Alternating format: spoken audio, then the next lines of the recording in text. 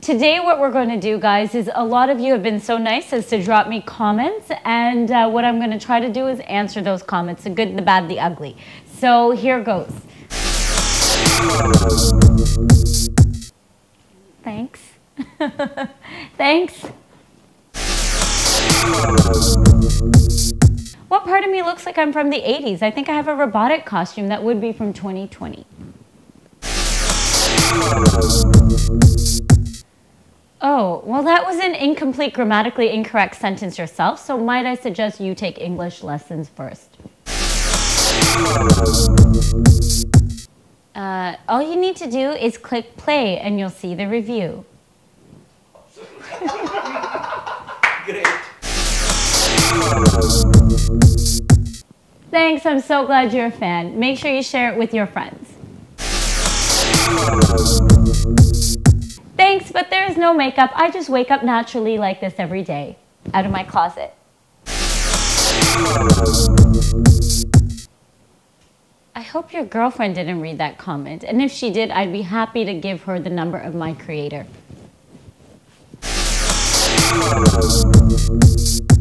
Thanks, and that's why I heard you, and I'm gonna do my videos with my hair down now. That's why my name is Techdoll. I don't look like a talking robot. I am a talking robot. I think that's a really sexist comment, and I should actually report you to all the women's lib and feminist groups out there. But I won't, and I just suggest that you actually make your own video and then upload it and then talk. Can you hear me now?